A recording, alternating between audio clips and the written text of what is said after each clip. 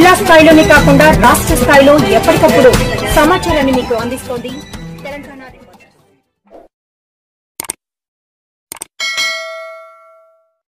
జిల్లా కేంద్రంలోని ప్రభుత్వ ప్రధాన ఆసుపత్రిలో గత కొద్ది సంవత్సరాల నుండి పనిచేస్తున్న అవుట్సోర్సింగ్ పారిశుద్ధ్య సిబ్బందికి వేతనాలు పెంచాలని కోరుతూ జగిత్యాల శాసనసభ్యులు డాక్టర్ సంజయ్ కుమార్ గత అసెంబ్లీ సమావేశాల్లో మాట్లాడిన సందర్భంలో సంబంధిత వైద్య ఆరోగ్య శాఖ మంత్రి ఈటెల రాజేందర్ మాట్లాడుతూ పారిశుద్ధ్య సిబ్బంది వేతనాల అంశం ముఖ్యమంత్రి పరిశీలనలో ఉందని వారికి న్యాయం జరుగుతుందని హామీ ఇచ్చిన సంగతి తెలిసిందే.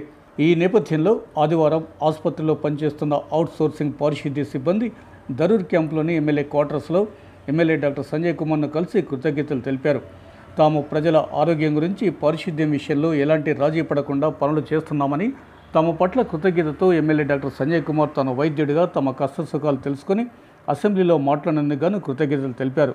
ఈ సందర్భంగా ఎమ్మెల్యే సంజయ్ కుమార్ వారితో మాట్లాడుతూ పారిశుద్ధ్య కార్మికులు ప్రభుత్వ ఆసుపత్రిలో అంకితభావంతో పనిచేస్తున్నందుని పనిచేస్తున్నందని జిల్లా కేంద్రంలోని ప్రధాన ఆసుపత్రి ప్రజలకు ఈ కరోనా కష్టకాలంలో అవసరమైన మెరుగైన వైద్య సేవలు అందిస్తుందని అన్నారు. ఇందుకుగాను పారిశుద్ధ్య కార్మికులకు కృతజ్ఞతగా వారి కాళ్ళు కడిగి నెత్తిన పోసుకున్న తప్పు లేదని ఈ సందర్భంగా ఆయన అన్నారు. మన ప్రభుత్వ ఆలోచన గౌరవ ముఖ్య ప్రీతమ నాయకులు కవిత గారు సందర్శించుకుని తల్లి పిల్లల హాస్పిటల్ కూడా కావాలని చెప్పి చెప్పడం జరిగింది. ఎందుకంటే ఇక్కడ మరీ పని ఒత్తిడి ఇరుకుగా అయిపోయింది. జిల్లా కేంద్రం అయింది. దాదాపు ఇరవై ఏళ్ళ కింద ఏది గదే ఉండే. ఈ మధ్య కాలంలో మీరందరూ కూడా అవుట్సోర్సింగ్ ఎంప్లాయీస్ అయినా కానీ జీతభత్యాలు కొంత మన తెలంగాణ ప్రభుత్వం వచ్చాక కొంత పెరిగినాయి. తెలంగాణ ప్రభుత్వం రాగానే మన ముఖ్యమంత్రి గారు మీకు పెంచారు అంతకుముందు కలిస్తే పెంచారు దాదాపు నలభై శాతం పెంచారు రూపాయికి నలభై పైసలు పెంచారు అయినా కానీ మరి ఇప్పుడు కరోనా కష్టకాలంలో ముట్టుకుంటా అంటుకుంటుందని భయం ఉండగా. ముట్టుకోకముందే దగ్గర కోతనే అంటుకుంటుందని భయం ఉండగా. వచ్చిన పేషెంట్లను మంచిగా చూసుకుంటాం హాస్పిటల్ మంచిగా సాఫ్ చేస్తాం చనిపోయిన శవాలను కూడా వాటిని ప్యాక్ చేసి కుటుంబ సభ్యుల దగ్గర వస్తలేరు మీరు అంతా దాన్ని బట్ట చుట్టి అన్ని చుట్టి పంపిస్తున్నారు పీపీ కిట్ ఈ సందర్భంలో మరి వచ్చినప్పుడు కొన్ని అవసరాలు చేయాలనిపించింది.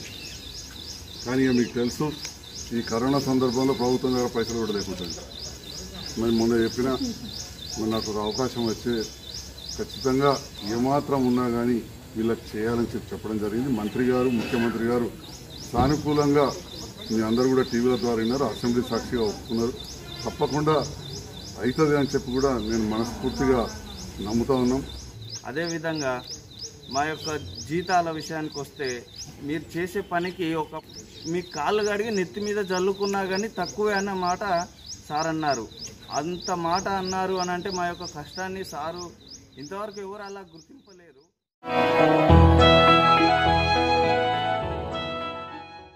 గారి నాయకత్వం బండి సంజయ్ అన్న గారి నాయకత్వం.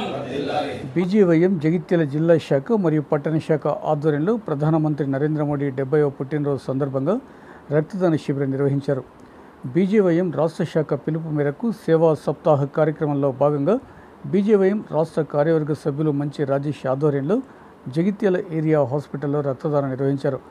ఈ కార్యక్రమంలో బీజేవైఎం పట్టణ ప్రధాన కార్యదర్శి బిట్టు బీజేవైఎం కోశాధికారి జిట్టవేణి అరుణ్ బీజేపీ అధికార ప్రతినిధి మరిపల్లి సత్యం తదితర కార్యకర్తలు పాల్గొన్నారు.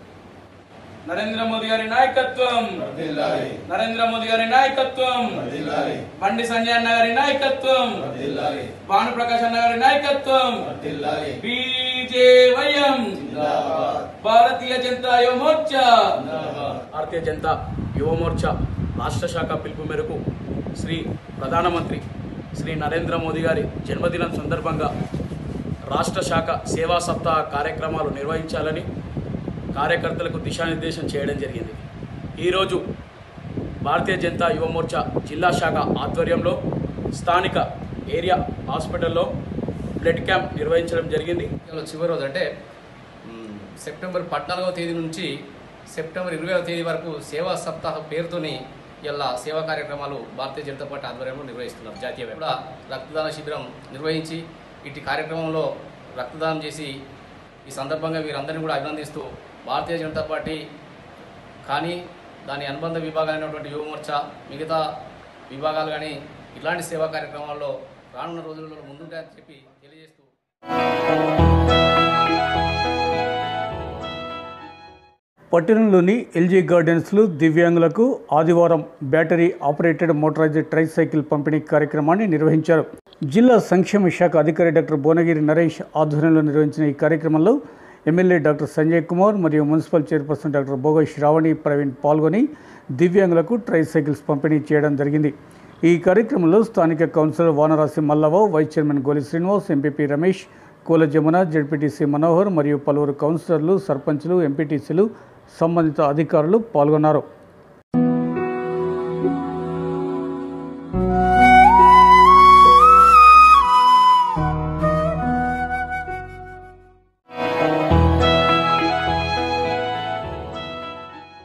మోటార్ ఓనర్ అసోసియేషన్కు అధికారులకు మధ్య వారధిగా పనిచేసేవారే ఆర్టీఏ అడ్వైజరీ కమిటీ డైరెక్టర్లని ఎమ్మెల్యే డాక్టర్ సంజయ్ కుమార్ అన్నారు. జగిత్యాల జిల్లా ఆర్టీఏ అడ్వైజరీ కమిటీ డైరెక్టర్గా కుమ్మరిపల్లికి చెందిన మాదాడి సుధాకర్ రావు నూతనంగా నియామకమైన సందర్భంలో ఎమ్మెల్యే క్వార్టర్లో ఎమ్మెల్యే డాక్టర్ సంజయ్ కుమార్ను మర్యాదపూర్వకంగా ఆదివారం కలిసి పుష్పగుచ్చం అందజేశారు. ఈ సందర్భంలో ఎమ్మెల్యే సంజయ్ కుమార్ ఆయనకు గ్రీటింగ్ చెప్తూ రవాణా శాఖ మంత్రి పువ్వాడ అజయ్ కుమార్తో పాటు మంత్రి కొప్పుల ఈశ్వర్ తోటి ఎమ్మెల్యేల సహకారంతో జగిత్యాలకు డైరెక్టర్ అవకాశం వచ్చిందన్నారు. జగిత్యాల జిల్లా కావడంతో మోటార్ వాహనాల సమస్యలను ఇంతకుముందు కరీంనగర్లో పరిష్కరించేవారమని కానీ అవి ఇప్పుడు ఇక్కడే మనం పరిష్కరించుకుంటున్నామని ఈ అవకాశం కల్పించిన ముఖ్యమంత్రికి ధన్యవాదాలు తెలిపారు. మోటార్ ఓనర్ అసోసియేషన్కు అధికారులకు మధ్య వారధిగా ఆర్టీఏజే ఆర్టీఏ అడ్వైజరీ కమిటీ పనిచేస్తుందని ఆయన అన్నారు. ఈ కార్యక్రమంలో పట్టణ పార్టీ అధ్యక్షుడు గట్టు సతీష్తో పాటు చైర్మన్ భోగ రావణి Praveen vice chairman Gori Srinivas AMC chairman Damodar Rao కౌన్సిలర్లు చుక్క నవీన్ ముజాహిద్ బాయ్ జిల్లా యూత్ అధ్యక్షుడు దావా సురేష్ పట్టణ పార్టీ ఉపాధ్యక్షుడు ఆనందరావు బండారు నరేందర్ ముసుకు ఎల్లారెడ్డి పార్టీ నాయకులు కార్యకర్తలు తదితరులు పాల్గొన్నారు.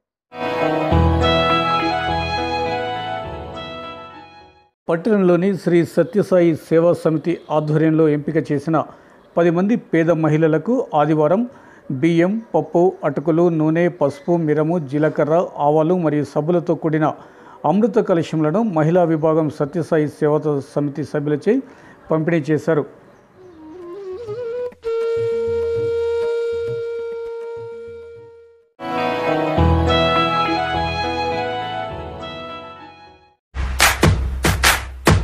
తెలంగాణ రాష్ట్రంలో శనివారం రాత్రి ఎనిమిది గంటల వరకు యాభై మూడు వేల ఎనిమిది వందల పదకొండు కరోనా వైరస్ నిర్ధారణ పరీక్షలు నిర్వహించగా గత ఇరవై నాలుగు గంటల్లో రెండు వేల నూట ముప్పై ఏడు కేసులు నమోదైనట్లు వైద్య ఆరోగ్య శాఖ ఆదివారం ఉదయం విడుదల చేసిన తన కోవిడ్ హెల్త్ బులెటిన్లో వెల్లడించింది.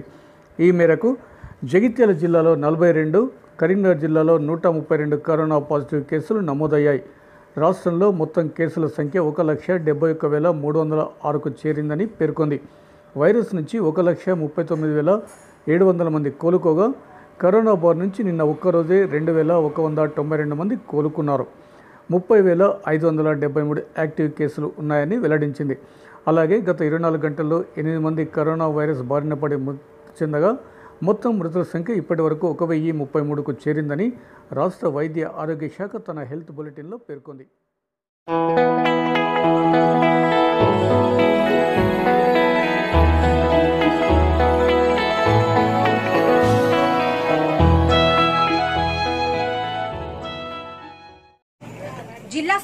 కాకుండా రాష్ట్ర స్థాయిలో ఎప్పటికప్పుడు తాజా సమాచారాన్ని మీకు అందిస్తోంది.